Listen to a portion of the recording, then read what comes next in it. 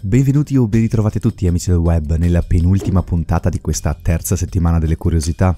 Eh sì, oggi tocca al coprotagonista della storia, il tetro, solitario, misterioso, affascinante e tenebroso Sasuke Uchiha, erede del clan dal triste e sanguinario passato.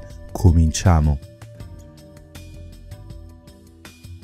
Numero 1 il nome Sasuke nella cultura giapponese è generalmente associato alla figura del ninja, in virtù del famoso ninja Sasuke Sarutobi, di cui abbiamo già parlato nel video dedicato al terzo Okage Hiruzen Sarutobi. Tuttavia il motivo per cui Kishimoto lo scelse per il suo personaggio è un altro.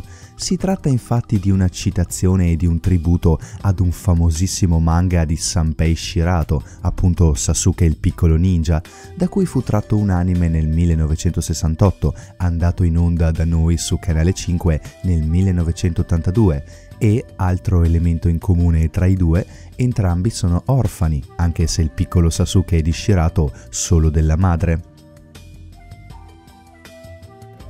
Numero 2 in una delle primissime interviste di Kishimoto pubblicate su Shonen Jump, il mangaka rivelò che alle origini il personaggio di Sasuke non sarebbe dovuto esistere.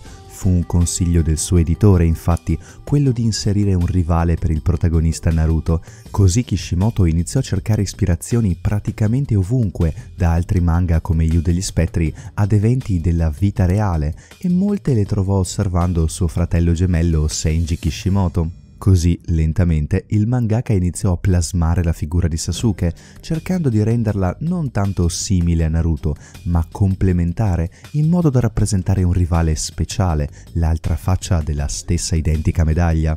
Il lavoro fu lungo e complicato, ma alla fine il risultato, beh, è senza dubbio uno dei migliori personaggi di tutto il manga.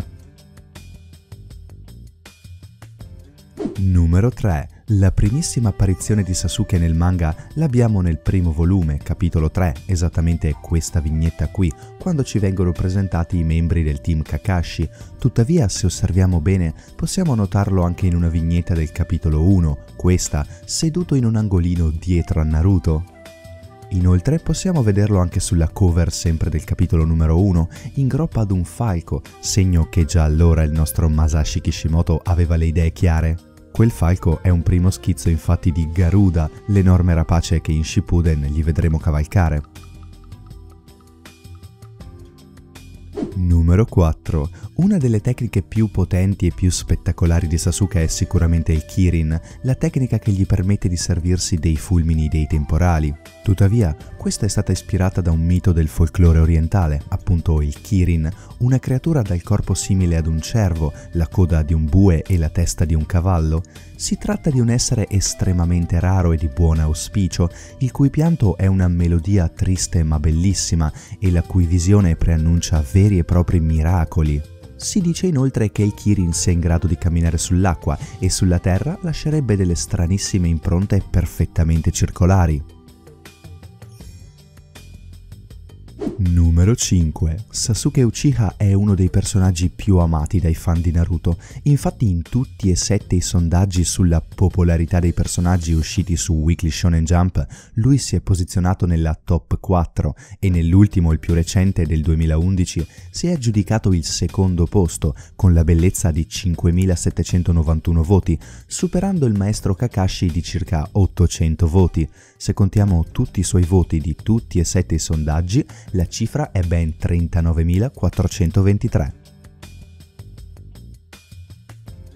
Numero 6. Nel videogioco Ultimate Ninja Storm Revolution del 2014 è stato incluso un simpatico OVA intitolato Sunnyside Battles e riguardante un buffo sogno di Sasuke. Nel sogno possiamo vedere Itachi indaffarato in cucina, in crisi nel tentativo di cucinare l'uovo perfetto, e mentre Sasuke si accinge ad assaggiare uno dei tentativi falliti, Itachi gli urla di non toccarlo, perché per suo fratello vuole il meglio del meglio, e cioè l'uovo perfetto. Un chiaro riferimento al vero obiettivo segreto di Itachi, e cioè proteggere il suo fratellino a cui ha sempre voluto bene. Bene ragazzi miei, qui si conclude anche la puntata dedicata a Sasuke Uchiha. Io spero vi sia piaciuta, fatemelo sapere qui sotto nei commenti. Statemi bene e noi ci vediamo domani con l'ultimo episodio della settimana su... beh, lo scoprirete.